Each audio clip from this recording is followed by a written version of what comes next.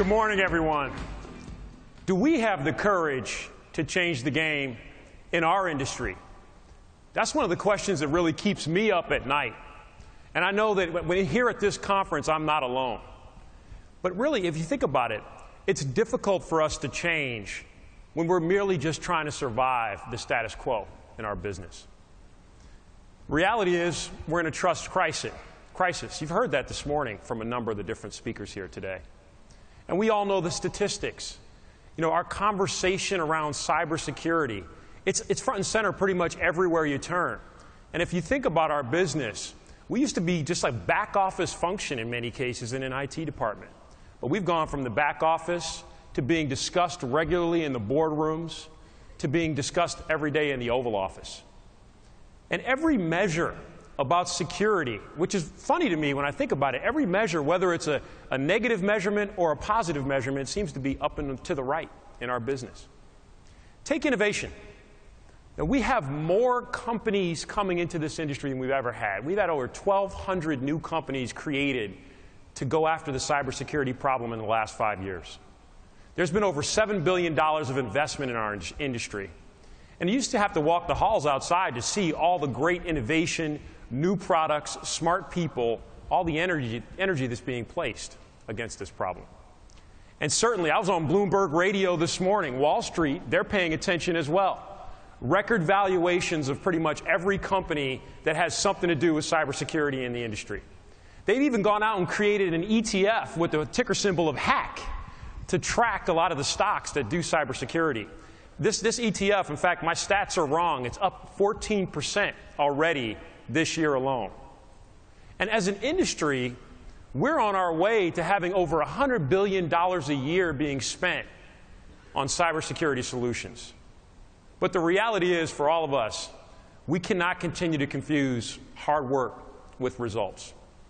Because the reality is, we're being outplayed in our industry. But the good news is, it's not game over for us.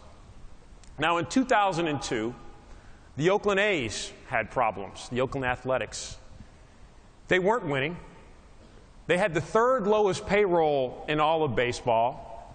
And they pretty much decided that they couldn't afford to buy their way to a winning team. Not when they had a $40 million payroll and the New York Yankees had over three times that amount in their coffers.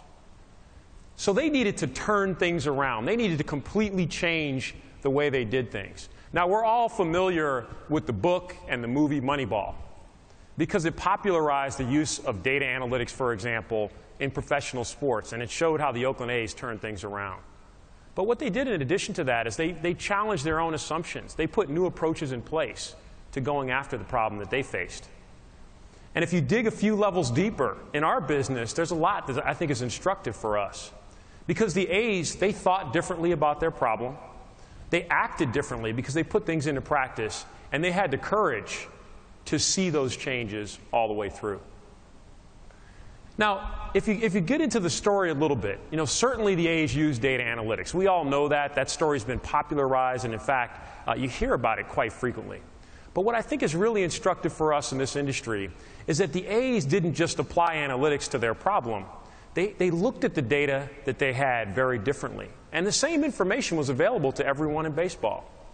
What they discovered, their premise was that the usual measures of value in baseball were overblown. The traditional stats like home runs and RBIs, while important, weren't necessarily the only statistics that mattered in the ability to field a winning team. So they went out and actually started to look at different ways. Measurables, for example, over intangibles. They found new measures like on base percentage, for example, or the ability to control the strike zone as a better predictor of the ability to win the game. And that strike zone control could be whether you're a batter or a pitcher. They then take, they took those undervalued skills, you know, some of the new insights that they got about different ways in which they could leverage player capability, and they put that skill set into practice. They, they basically exploited market inefficiencies in a business that had been, you know, had conventional wisdom for over 150 years. They acquired low-cost talent in many cases, changed their operating model, and got a huge return on their investment. They changed the game. Now, in our industry, we've far, you know, long since begun to embrace the concept of data analytics. I'm not here to convince you guys to do that because we all believe data analytics is really important in our business. We've got better tools than we've ever had. We're finding more threats than we've ever been find, we've ever found in our business. So then the question becomes, why aren't we able to write our own Moneyball story in security?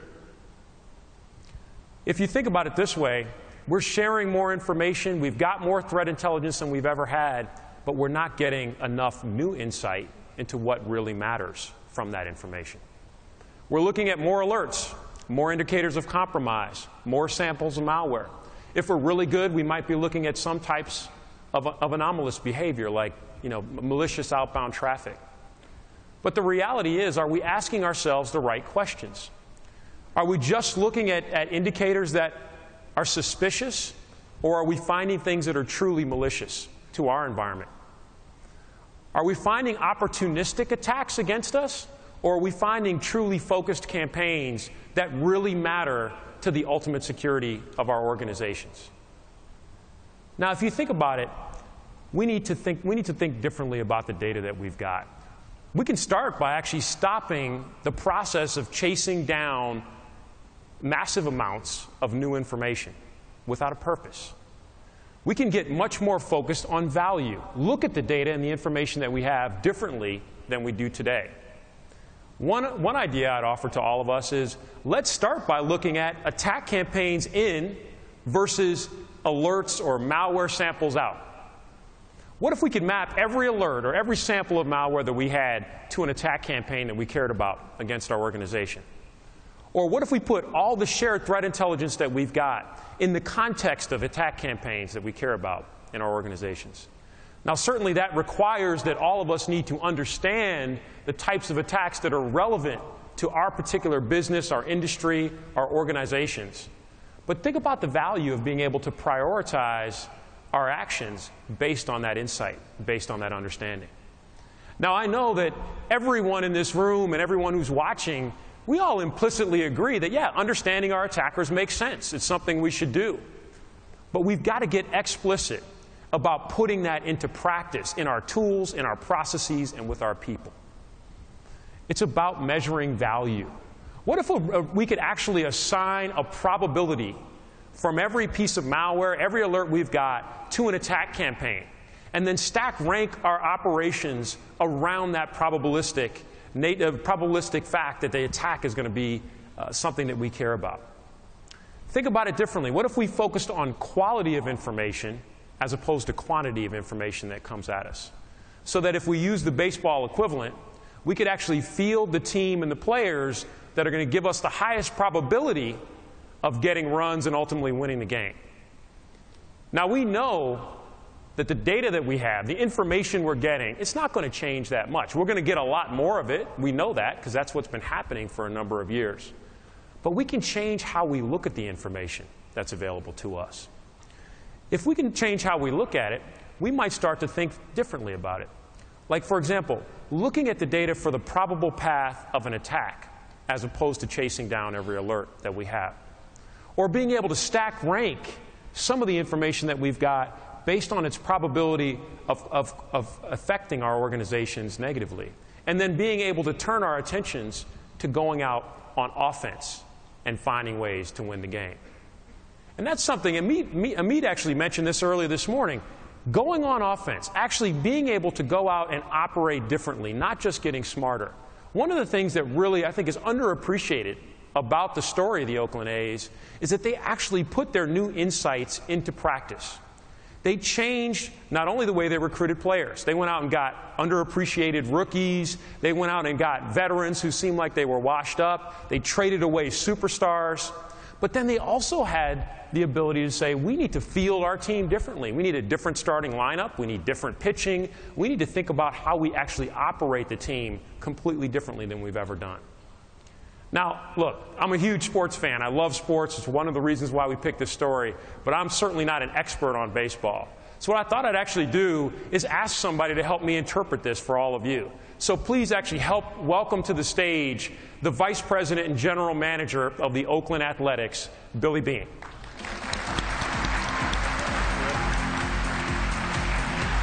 Well done. Billy, you're a true inspiration for me, and I think there's so much that all of us here at the conference can learn from you. But I figured I'd start with the most important question What was it like to have Brad Pitt play you in the movie? Well, I think they nailed it. I think they absolutely nailed it. Seriously, Billy, the, the, you know, if you think about it, in our industry, there's a tremendous amount of entrenched thinking. You know, there's the way it's always been done, and it's not serving us well enough. In your world, you had to challenge a lot of that same type of entrenched thinking. How did you do that? Well, I think that uh, I sort of represented that entrenched thinking in some respect because I was a, a, guy who came up in the business, a business that was 150 years old as a former player. Um, and quite frankly, I had a great mentor, a, a gentleman who, uh, who didn't come up in the industry, in Sandy Alderson. And when I hired, I made sure I looked outside, somebody who didn't have the experience bias. With my, my first and maybe one of the best hires I ever had was Paul DePodesta, who was a Harvard econ major, didn't play sports, and really was able to come in and look at things with a, a, an eye that wasn't biased. We also uh, took ideas from people outside the industry, guys like Bill James and Pete Palmer and Shaw Quick, Cook, and, and uh, apply them. Now, you talk a lot about bias. You know, think can you tell me more about that? Because we, we talked about that a little bit, the, the, the issues of bias creeping into your thought process, no matter how old or new you are to any given industry. Well, your own experiences, particularly in sports, where that experience may also be tied to an emotion as well. Uh, you, you tend to, you know, you know, say in football or soccer, European soccer, there's a goal, and not all goals are created in terms of how you emotionally react to them, and, and baseball is a little bit the same way. Uh, and so you kind of have to look at blind, a blind eye and, and, take things from the start and not make assumptions. So uh, for us, we ultimately wanted to uh, take all the emotion out of our decision making, and, and, that came many times with your own experience. So one of the ways you did that, taking emotion out of it, is you, you use data to really make decisions. Now, interesting parallels in our environments, right? Baseball is a data rich environment. Certainly in security, we've created a data rich environment. We both need to be winning. And what can we take away? How did you come up with the idea to leverage data analytics differently in baseball? And is it the same as it was back in 2002? Well, no, it's changed significantly. In fact, uh, the book was really based on public information. As I said, uh, guys like Bill James had been writing for years, but because they weren't, they didn't come up in the industry, it really was never applied. And, and again, sports is very emotional, and, and there's an assumption, and very much you have to kind of pass the eye test. And what we wanted to do was make sure our eyes weren't, weren't fooling us. Uh, as far as today, the game and sports has changed dramatically. In fact, looking at the book now, it feels like you're watching an episode of the Flintstones a little bit when you see some of the stuff. But uh, because the only thing I haven't changed is making sure that I bring in guys that uh, normally would, would be in this room. Actually, the, the, advantage I have is I have access to intellectual capital that normally would, as I say, be in this room, but want to work for a sports team. We have access to data, everything just like I think in any business was being measured, throwing into this huge vat of data. And uh, you know, it's up to my staff to sort of sift through what has relevance and which doesn't as it applies to predicting player performance. And how often did you have to change the way you actually looked at the data in order to get the right insight? Oh, you're constantly evaluating, and sometimes even when you have success, there's an assumption that the success was based on your process. So you actually are always analyzing your process and making sure that the reason you, you weren't correct wasn't through serendipity, but the reason it was because you have a good process and you're doing things properly. So uh, it, it's challenging because uh, the, game of sports or the business of sports has become very, very intelligent. I mean, uh, baseball teams, uh, football teams, basketball teams are all using this and hiring, once again, guys that normally would probably be in this room. Interesting. So you, you even if you get something right, you then make sure you continuously test that process to make sure that you actually got there in, in, a, in a, in a data-driven fashion. Uh, we, yes, and, and, also there's so many variables in sports too. Uh, we try and quantify things that you don't think you can quantify. Things that people, once again, when you talk about challenging assumptions, things that people assume can't be quantified. Uh, you try and quantify them, so at least you're creating, uh, again, a process that, more than anything, when you are right or wrong, you can at least go back and look and see why you were right or wrong, similar to a mathematical equation. Interesting. So you got different insight, you challenged assumptions, and then you had to put it into practice. To me, that's an underappreciated part of your story, is that you had to convince the organization to operate almost completely differently than the way they had been operating for many, many years. How'd you do that? Uh, well, sometimes you don't. I mean, early on in a process, you, you know, we, uh, we, we lost employees because there certainly wasn't a belief. Now, understand, uh, when we started out, uh, we had a great platform. We were challenged from a revenue standpoint, so it was an opportunity in some sense.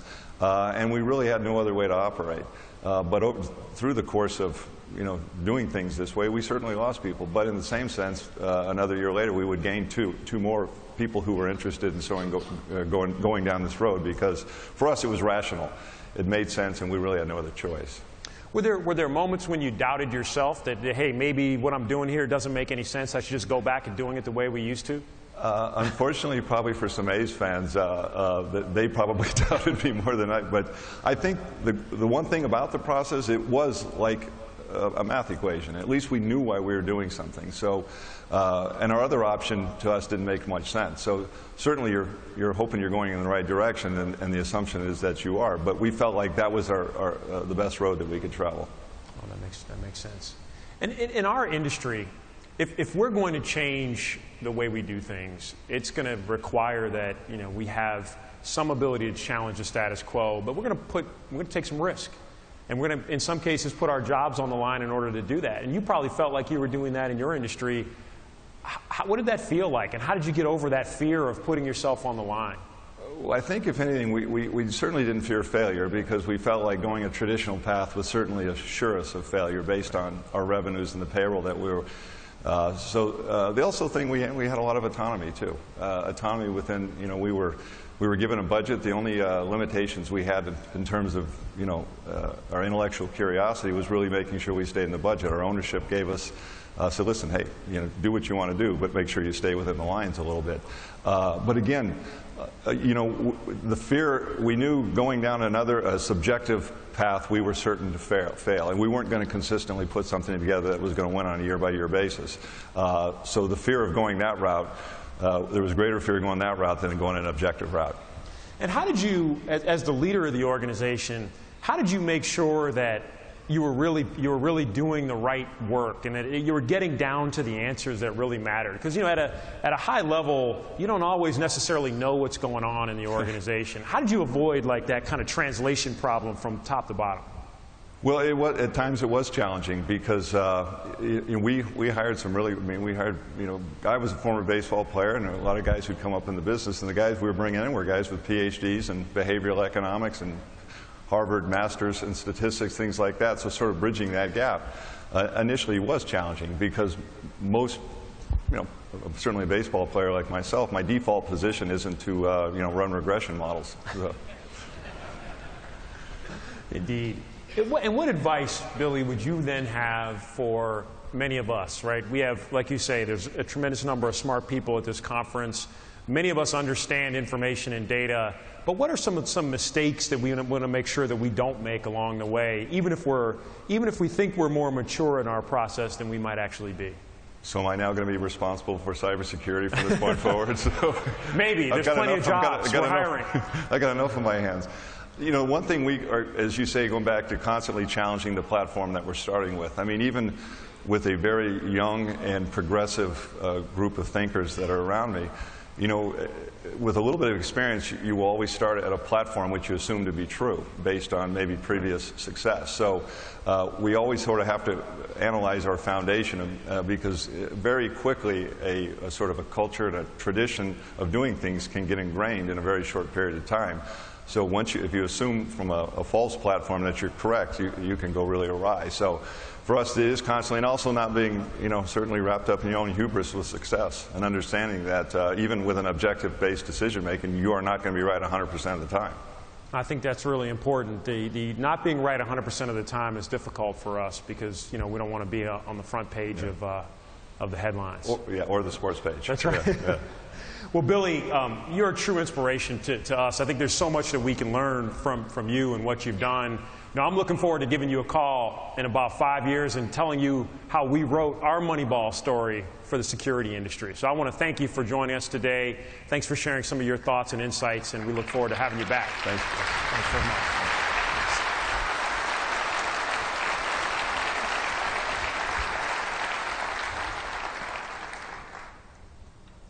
The way Billy and the Oakland A's looked at data very different than they had ever looked at it in baseball. He put a new system in place. He had to convince people to operate differently. But I think most important about their story is that they had the courage to see it through. He had a conviction, as he said, I wasn't a data analytics guy, but I had to trust that the new insight, the new practices that we were going to follow were the right ones, and they were going to win in the end. Now, we all know that there's a tremendous amount of results. We wouldn't have had the movie and the book being written. You know, that year in 2002, the A's went from a losing record to winning 20 straight games. They set an American League record that year. The Boston Red Sox loved, their, uh, loved the system so much, they actually borrowed it. I was living in Boston at the time, and they started winning World Series. They broke the 86 year curse of the Bambino, went on to win three World Series by borrowing Billy's strategy around data analytics. It's certainly a story that I think we can learn from. Certainly, there's differences in our industry, but so much to think about in terms of how we can challenge our fundamental assumptions around security and do things differently with a lot of the people and the tools that we have in place today. Now, if you take it a little further, you know, look at our, our industry. We've, we've begun to place a premium a while ago on visibility and insight. We've talked a lot about that. But are we just are we getting new insight or are we just collecting more data in many cases? I think that's one of the questions we really have to test ourselves on. And do we have the courage to put new practices into place? Another idea I'd offer for everyone is that we could actually stop chasing down every alert that comes into our security operations center. We could then say, I'm going to I'm going to take 98% of what's coming in my direction. I'm going to trust my security architecture, my automation to deal with those threats themselves. And then I'm going to take my talented people, I'm going to go on offense, think like an attacker, and I'm going to go hunting for the 2% of threats and attacks that I really care about in my organization. Now, certainly that requires a different mindset than most of us have today. It's about trusting that architecture, trusting vendors and their products, maybe even changes the nature of the vendor customer relationship a bit. More of a partnership than a product relationship. It will change things. We'll use some of our products differently. And certainly we can get new, better results if we have new insight on the information that we've got. We might take our SIEM tools, for example, and turn the way we use them. Move them from being you know, a, an alert system that we, we religiously follow to a source of reference or actionable intelligence about what's actually happening in our organizations. Moving away from treating them like we treat our email inboxes, where we feel like we've got to answer every message as it comes in. But the challenge is not necessarily the tools that we have, it's the process, it's the measurements that we use, it's the people skills, in many cases, that we've got. But I think that if we, if we look at other stories of what people have done in other industries, like what Billy Beane and the Oakland A's did in baseball, I think there's a lot of wisdom in there for us about how we can leave here and come up with new ideas for the way we can operate in our industry. I think we have a huge opportunity in security.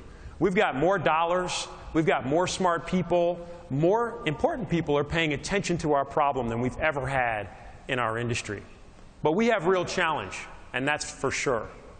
But if we think differently about the information that we have, looking at data differently than we look at it today, putting it in context, for example, of the attacks and the campaigns that we really care about, if we operate differently, not just thinking and getting smarter, but putting new practices into place, and then having the courage, despite our doubters, to see that through, I believe that we can write our own Moneyball story for the security industry.